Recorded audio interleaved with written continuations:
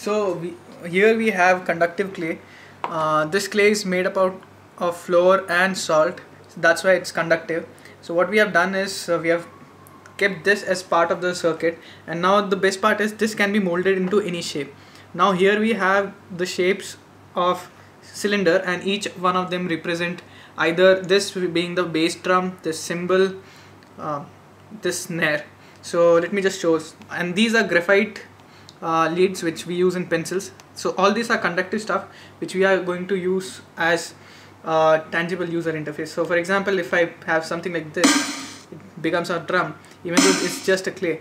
Now what we have done is we have taken this input as keyboard input and we have put this uh, interface with Arduino. And we have got Arduino micro over here uh, which is taking this input as keyboard input.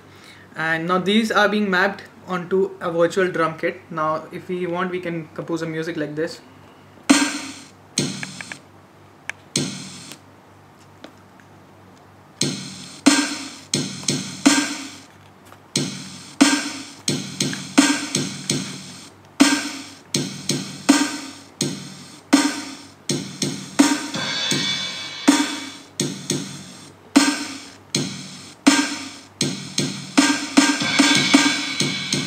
so yes so I'm not very good with drums but still. Oh now this started working nice. Okay.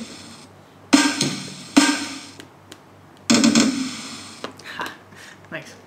So this is the basic idea now the best part is we can have this uh, as malleable. So we can make this into any shape and this will become a input input mechanism for the keyboard. So yeah that that's the whole idea. Thanks